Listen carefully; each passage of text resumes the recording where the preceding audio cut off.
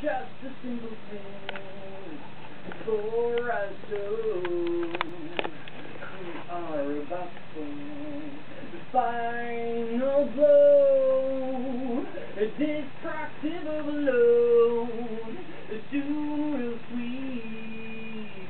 sweep across our company.